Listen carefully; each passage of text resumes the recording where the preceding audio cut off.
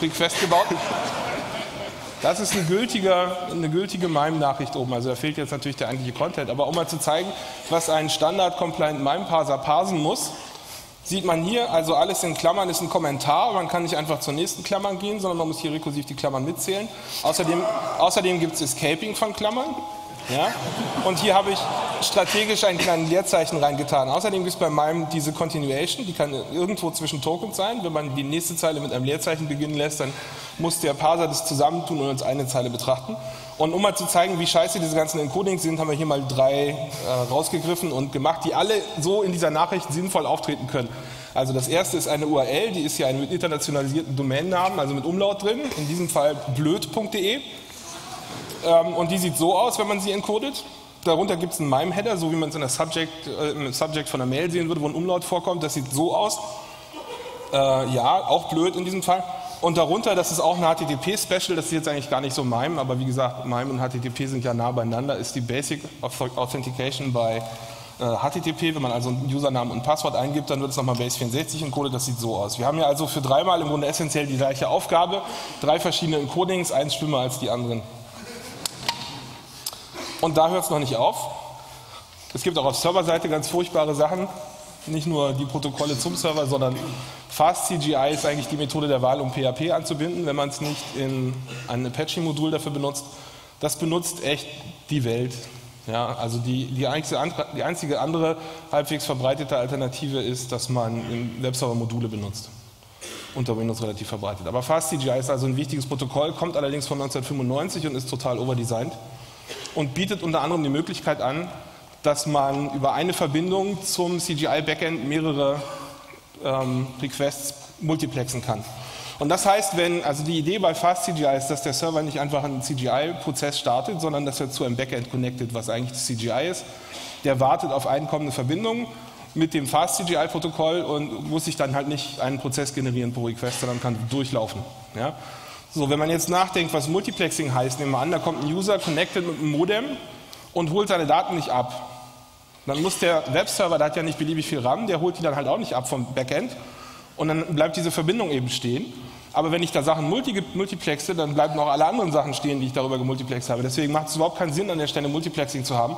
Das heißt aber, dass FastCGI einen Handshake braucht zwischen dem Webserver und dem Backend. Also diese Art von Protokolle, das ist so unsere zentrale Botschaft heute, darauf basiert unsere Informationstechnologie. Das ist hinter Yahoo, Google und so weiter.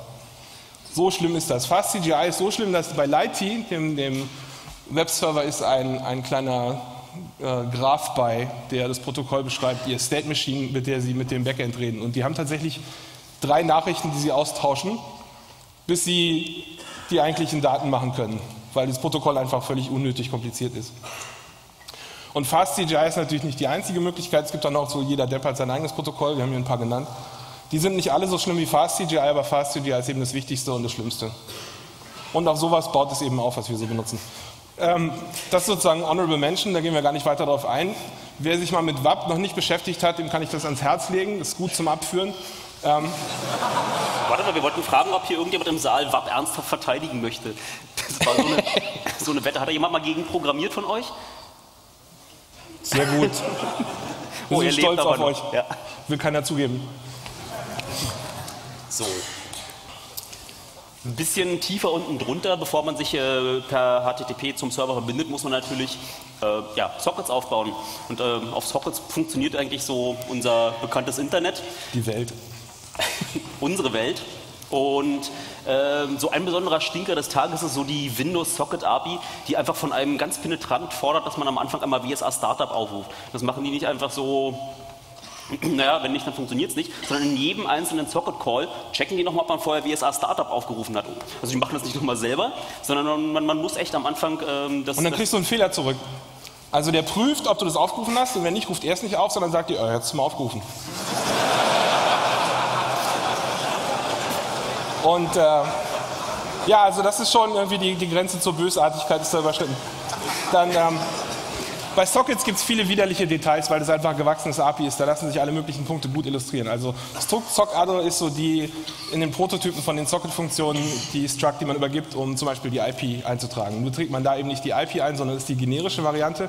Man muss es vorher casten, noch sock in für Internet. Und wenn man IPv6 benutzen will, braucht man IN6. So, und jetzt haben sie aber bei sock in nicht daran gedacht, dass irgendwann IPv6 kommen würde, was vielleicht mehr Platz braucht. Und deswegen ist sock in kleiner.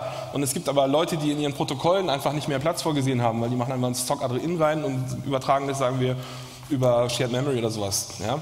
Und für die Fälle haben wir uns jetzt eine neue Sache überlegt, das heißt Sock Storage. Und da sieht man schon, wie, wie furchtbar diese APIs werden, wenn man die einfach wachsen lässt und nicht vorher drüber nachdenkt. Das fiese Sock-Address Storage reicht ja auch nicht aus, weil ja Genau, es gibt auch noch Unix Domain Sockets, da, da steht dann der Pfeilname drin, dafür ist es also auch zu klein, das heißt äh, voll für den Fuß. Äh, OpenBSD, ja, da, ich meine, wir sind hier ein bisschen langsam in der Zeit, das skippe ich mal weitgehend. Also da geht es darum, dass bei IPv6 gibt es einen Kompatibilitätsmodus, dass man von der Anwendung aus nur mit IPv6-Sockets operiert, aber im Hintergrund eigentlich IPv4-Verbindungen aufbaut. Und das hat OpenBSD eben aus religiösen Gründen nicht implementiert, weil sie gesagt haben, also haben ein Argument vorgeschoben von wegen, ja, User Space Firewalls könnten verwirrt werden, weil die IPs dann komisch aussehen. Gut. Also sowas gibt es auch noch. Nicht nur, dass die APIs von sich aus schon scheiße sind, sondern es gibt dann auch noch so Saboteure, die es noch schlimmer machen.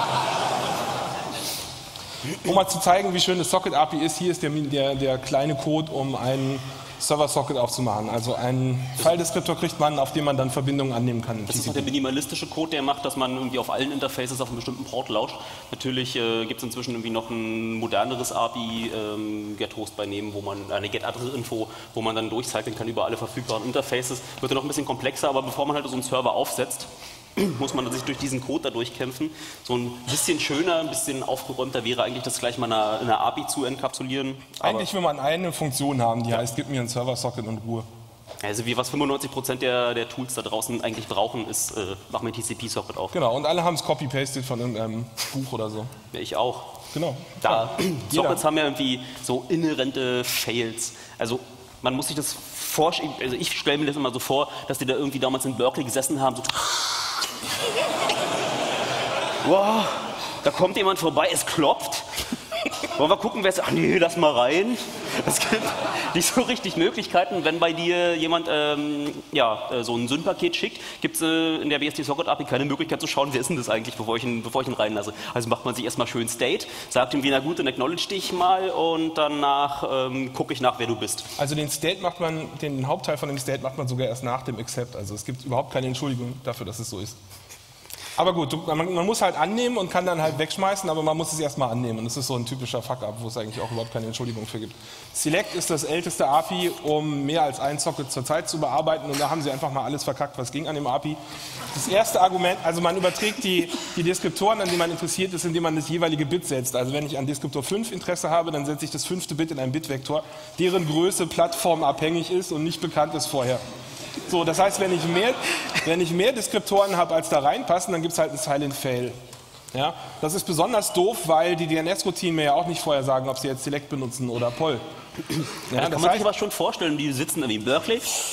1024 Computer gibt es bei uns im Institut nicht. Genau. so sieht das aus. So, und irgendwie Select ist ja auch man muss sich vorstellen, dieses Bitfield, was man sich da mühsam zusammensteckt, da gibt es so ein paar Makros, wo man sagen kann, für welche Sockets man die Informationen abbekommen möchte. Dann gibt man ihm das hin und dann überschreibt er das. Da muss man also vorher eine Kopie nehmen, um das jetzt weiter hinzugeben. Und ähm, äh, man hat irgendwie so drei Bitfields, in die man sagt, wie, für die möchte ich gerne wissen, ob da irgendwie Daten zu lesen sind, da für die, ob da Daten zu schreiben sind und eins, ob da Fehler passiert sind. So, und ähm, Fehler ist jetzt ähm, auch nicht so richtig ähm, so sinnvoll. Also nur wenn wirklich schlimme Fehler passiert sind, aber so ein EOF zum Beispiel, also wenn die Gegenseite zugemacht hat, wird da irgendwie gar nicht mit, ähm, mit signalisiert, sondern es passiert dann per Inband-Signaling, äh, Inband die sagen einfach, da kann man lesen und wenn man versucht zu lesen, gibt es 0 Bytes. Weißt du, wie die Pfeil ist Ganz zu. toll. Ja. Ist historisch gewachsen, ist halt so. Ja, es gibt mir mal den, den Ding. Ja, genau. Also wie gesagt, Inband, End-of-File-Signaling oder Error. Encoding ist sogar noch ein bisschen schlimmer, weil es gibt noch einen dritten Status, nämlich dass man lesen will, aber gesagt hat, der Socket ist non-blocking. Und die Idee dabei ist, dass man sagen kann, lies mal 1000 Byte und dann sind 100 da. Und wenn man nochmal lesen will, sagt er, jetzt gibt es gerade nichts, versuch später nochmal. Und das wird signalisiert, indem man einen Fehler zurückkriegt und der Fehlercode sagt, ähm, versuch später nochmal. Das heißt, nicht nur ist das Fehlersignaling scheiße, sondern sie haben auch Nicht-Fehler in dem Fehler-Signaling encoded, weil es auch irgendwie nochmal, selbst für schlechtes Fehler-Encoding nochmal schlecht ist. Also das ist wirklich, genau so macht man es nicht, aber Windsock ist kompatibel dazu. Man würde jetzt denken, dass, äh, okay, so dieses, äh, dieses